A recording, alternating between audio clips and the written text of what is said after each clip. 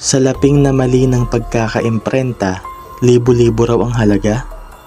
Ayon sa isang hindi pinangalanang tao, nagumpisa raw ito noong 2019. Nakakita raw siya sa Facebook ng coins at banknotes na mali ang pagkakaimprenta. Base raw sa mga napanood niya, marami raw ang nagsasabing malaki ang bentahan sa mga error coins at error banknotes. Kaya naman nainganyo raw siyang pasukin yung negosyo na yun. Yung isang 5 peso coin na ebenta niya raw ng 14,000 pesos.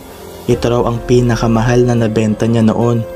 Mayroon daw siya ngayong error banknote na 50 pesos at may nag-offer daw sa kanya ng 5,000 pesos kapalit ng 50 pesos niya. Nag-umpisa lang daw sa 5,000 yung puhunan niya pero ngayon namumuhunan na raw siya ng halos 300,000 pesos sa lahat ng mga negosyo niya.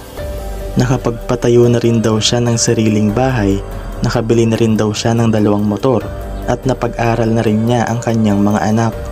Legal nga ba ang ganitong klasing negosyo at ano ang masasabi ng Bangko Sentral ng Pilipinas ukol dito? Sabay-sabay nating abangan ngayong linggo ng gabi sa Kapuso mo Jessica Soho.